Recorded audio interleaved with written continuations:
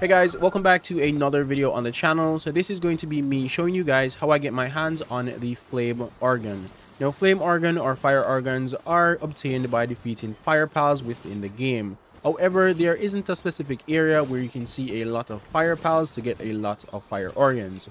I'm going to be showing you guys my method and I think my method is a lot faster. So what I did was I created a farm and what I'm going to do is sell the berries on my farm to make some gold and then use that gold to buy a lot of flame organs.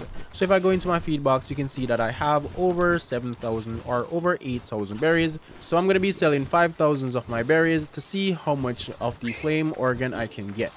So what I'm going to do is travel to the small settlements. I'm going to sell my berries at the shop so if I sell 5,000, I make 25,000 gold. And then if I go to buy and buy the flame organs, I can get a total of 250 for my 25,000 gold. And that's how I get my hands on the flame organ. Hopefully this video was helpful. If it was, please leave a like on the video and consider subscribing to the channel for future Palworld content.